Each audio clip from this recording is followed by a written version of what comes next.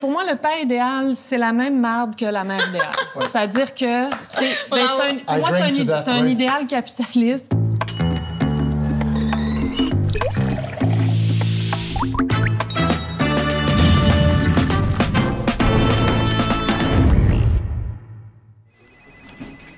Dans son nouvel essai Les retranchés, l'écrivaine et dramaturge Fanny Britt se penche notamment sur la figure du père suffisamment bon. C'est quoi un père juste correct puis quelle place ça peut trouver en 2019? J'en discute avec elle et avec Samuel Archibald, qui est prof à l'UQAM, auteur, scénariste et père de deux enfants. Suffisamment bon, j'espère. Fanny, tu as écrit La famille telle qu'elle se présente actuellement me semble se prêter au jeu dangereux de la performance au sens économique et spectaculaire du terme.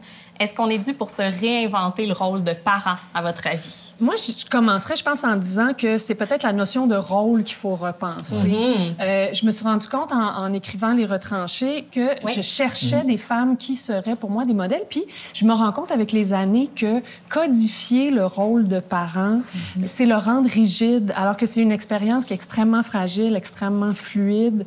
Puis je pense que c'est surtout là-dessus euh, qu'il faudrait se pencher, euh, comme se libérer des modèles mais c'est quand même une expérience, je crois, qu'on représente d'une certaine façon d'une façon glorieuse, impliquée, essoufflée. Il y a toute la question des réseaux sociaux là-dedans. Il y a la question de comment on se représente. moi, je l'ai vécu beaucoup. Il y, a déjà tout un autre monde qui est euh, quand tu vis une séparation. C'est-à-dire, en tant que parent divorcé, bien là, tout à coup, tu passes. Il y a toutes sortes de réalités dans le divorce qui ne se prêtent pas à Instagram. Tu ne mets pas tes papiers de divorce sur Instagram. Tu ne montes pas comme mon premier week-end au parc tout seul avec les enfants. c'est un peu tristounesse. avec là, le show s'interrompt un peu. Puis des fois, il te permet de réfléchir à ta performance avant, à bien des égards. C'est-à-dire, tu n'es plus capable de te valoriser de la même façon. Il faut trouver des nouvelles façons de le faire.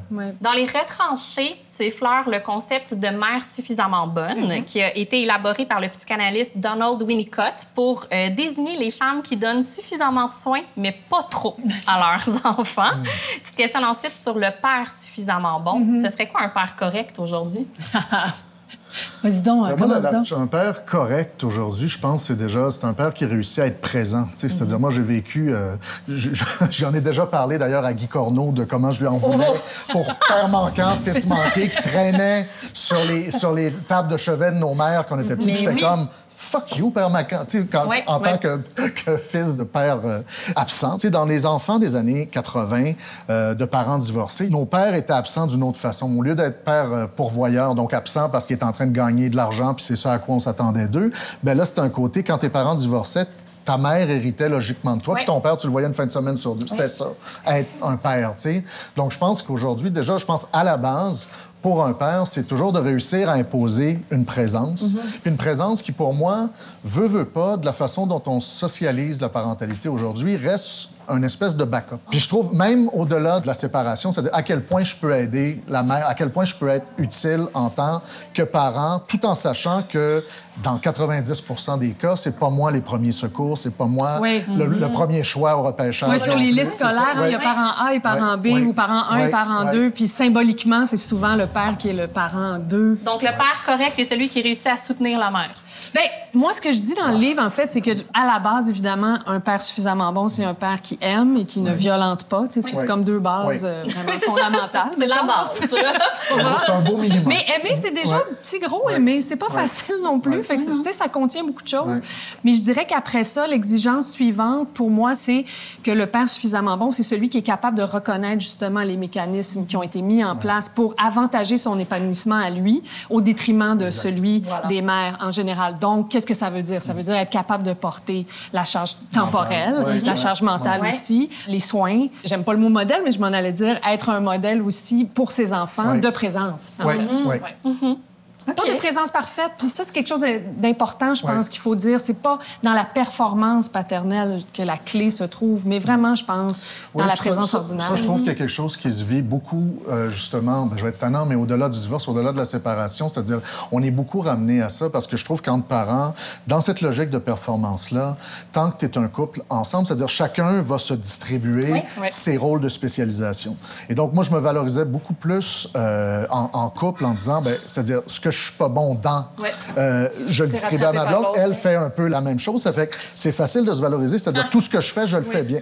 Et tout à coup, il y a quelque chose de spectaculaire quand tu te ramasses euh, parent monoparental. Ben là, il y a un côté, t'es plus juste un père, t'es un parent. Quand Ouais. je les ai, je suis un parent. c'est avec là les trucs dans lesquels je suis moins bon, ben je les ai tout de suite dans la face. C'est-à-dire, il faut que tu occupes l'intégralité du spectre. Donc, pour être ça- meilleur ouais. parent, on devrait tous se souhaiter la monoparentalité. Mais non, mais c'est terrible, mais je pense que c'est la clé pour comprendre la profondeur de la fonction parentale. Wow. Ouais.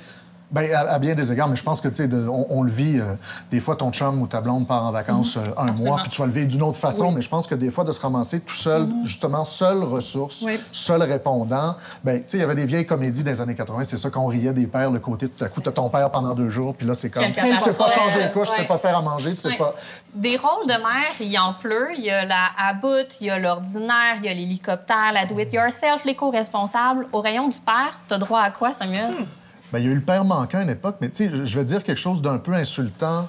C'est un peu des concepts de magazines féminins. Puis les hommes, on est un peu moins des suckers pour les concepts de magazines féminins. Ben, il y a ça, parce qu'on lit pas ça. Ben moi, j'ose avancer que c'est- peut-être aussi qu'on vit dans un système qui permet aux hommes d'être qui ils sont. Ouf!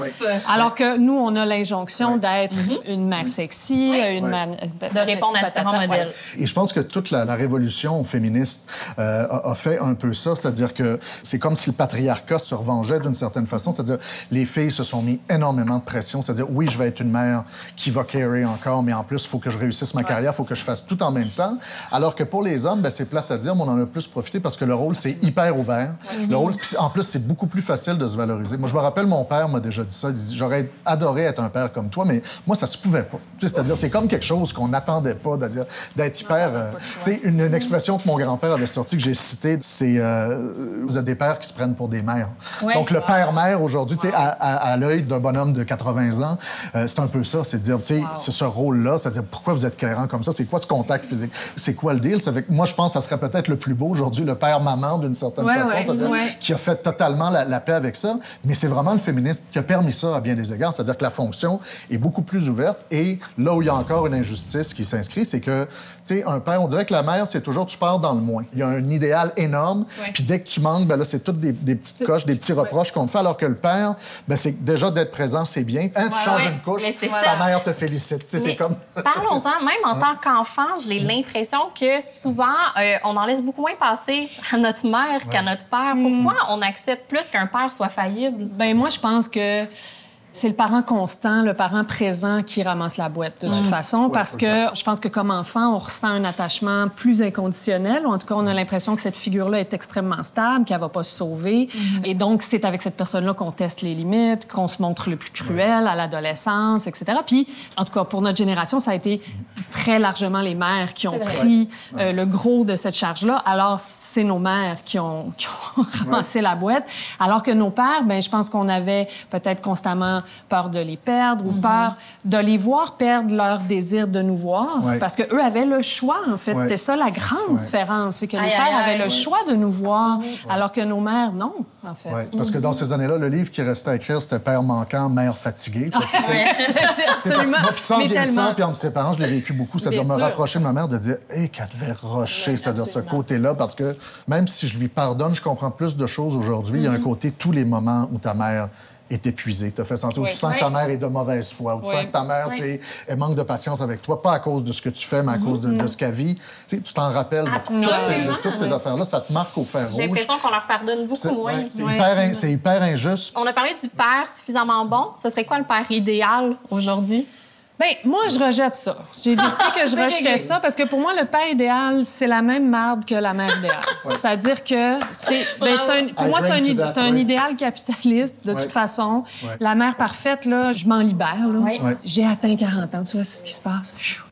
C'est ins- inspirant. Je commence à m'en libérer parce que aussi la petite enfance de mes enfants s'éloigne, mais c'est une prison qui répond à un marché Ouais. qui, qui est fait de toute façon pour te faire acheter des choses. Mais il existe chez la mère. Est-ce qu'il Il existe. Ben, je pense le que si on tombe là-dedans, ça va être la même affaire. Parce que, tu sais, le père idéal, on, on est capable de l'imaginer, là, ça serait comme un monsieur extrêmement présent, très présent dans le temps avec ses enfants, mais aussi... Qui désire encore sa femme. Qui désire sa femme, sa Oui. femme dont le corps est marqué par les grossesses, Oui. mais il la désire quand même. Et c'est en même temps un intellectuel. Et c'est aussi un manuel. Ouais. Et c'est aussi un protecteur. Il Ouais, est quand même viril. Je pense que tu as tout à fait raison. C'est-à-dire, on devrait être en train de défaire, de Oui. déconstruire Oui. la mère idéale, pas d'essayer d'appliquer ça au, au père. Exact. Puis il est Ouais. particulièrement nocif de toute façon pour les garçons de ces pères-là, parce que présenter un modèle d'homme parfait comme étant l'idéal à atteindre, c'est aussi nocif que ce que ça fait aux petites filles de recevoir les injonctions du, euh, du monde féminin, là, tu sais. Donc, euh, ouais, moi, je dirais... euh, Moi, je Pas le idéal. J'achète complètement. Euh, Fanny, dans les retranchés, t'écris aussi qu'il faut apprendre à dégenrer le care. Mm-hmm. Donc, faire du soin la responsabilité de tout le monde. Moi, je me demande qu'est-ce que ça va prendre pour qu'on arrive à une génération qui soit aussi sensibilisée que décomplexée à cet égard-là. Je pense que c'est un travail de tous les jours. La clé, c'est qu'ils voient jour après jour que c'est euh, une fois c'est la mère qui va s'occuper de la gastro puis Ouais. euh, puis du cauchemar au milieu de la nuit et l'autre fois ça va être le père. Puis que cette espèce de présence là justement émotionnelle, la présence qui rassure, la présence en compagnie de laquelle on se sent soi-même, on est capable d'exprimer tout ce qu'on contient. Il faut que ça se passe dans les familles, il faut que ça se passe dans les classes aussi, Ouais, à l'école. C'est- aussi, C'est ouais. aussi le travail des profs, puis des enfants entre eux, de s'empêcher de perpétuer des comportements euh, qui sont nocifs. Puis après ça, ben, je pense que notre job d'auteur de fiction, c'est aussi de montrer Ouais. ça, pas dans une perspective de poli- politically correct, mais vraiment juste, je pense que quand on est exposé à une multitude de choses, ben, on peut concevoir une multitude Ouais. de choses. Oui.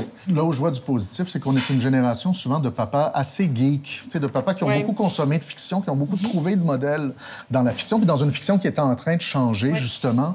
J'ai juste fait la paix avec le fait que je suis le papa qui braille en regardant Titanic avec ses filles. Tu sais, puis Mais c'est juste, qui ne pleure c'est pas en juste- regardant Ben, Titanic, je veux dire? non, mais il, il faut, tu sais, c'est-à-dire, c'est- puis là, à un moment donné, Oui. tu, tu fais juste la paix avec ça, c'est-à-dire, je veux que le modèle que je donne ne soit pas nécessairement ambigu, mais qu'il soit.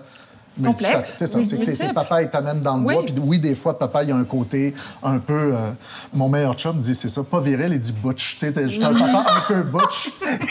et, dans la- et- et- et souvent un papa très, très maternant, puis c'est juste d'envoyer des signaux pour, pour que les enfants, regardant ça, disent, je veux que la parentalité, ça puisse être bien, bien des affaires. Oui, absolument. Tant qu'il y a du care, au fond. Oui, Ouais. oui, exact.